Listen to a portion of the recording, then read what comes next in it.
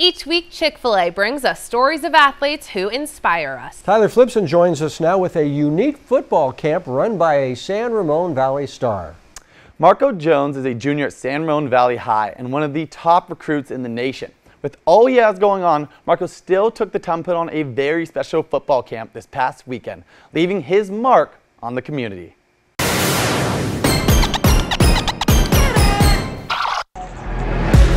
This is the field where Friday night moments are made.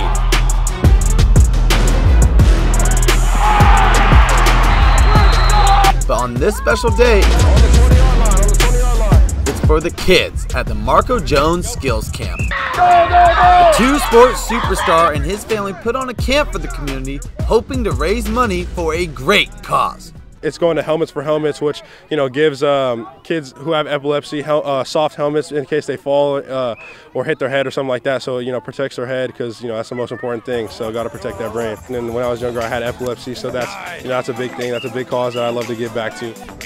The junior is getting lots of help from his family and teammates volunteering with this massive turnout. The fact that like over probably 120, 130 kids are out here uh, yeah, Marco's just a big name in the community, and it just means something that he's giving back to the younger kids.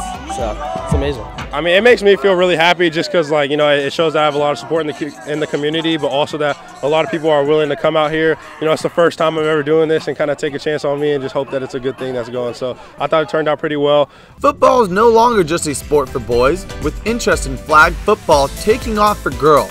A member for the girls team helping out is a natural for this event. You know, we have uh, Sydney Gann out here too, and she's she's helping out. You know, she's on the on the women's flag football team at our school too. So you know, I know that it's a boys and girls camp, so it's good to have her helping as well. It's awesome. I I saw some girls out here, and I was like, it's starting to grow, and that makes me so happy because I get just get to see this um, sport evolve in uh, many years. I'm hoping I could play, hopefully in college one day, and it was just awesome when I saw girls out here. I thought it was really cool.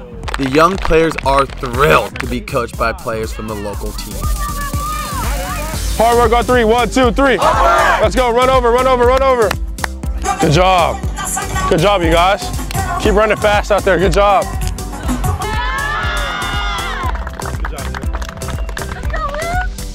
Everyone here knows Marco is headed to a major university. Which one is the big question? Yeah, go ahead. Do you have an LSU scholar? I do not, no. Shut up. You, you, go, go ahead. I would have told you to go there. You should go. I, should go to Oregon. We'll see. We'll see. Marco does have some advice for these young people on their future in sports. Uh, I think just always be yourself and always have fun in what you're doing, right? Like, it's hard for people to not like you if you just stay true to yourself and always do what you enjoy doing. It takes a lot of skill to be a successful football player, but even more to be a successful person. Marco Jones is proving to be both. It's clear Marco is just as amazing of a person as he is an athlete. He really left an impression on those kids.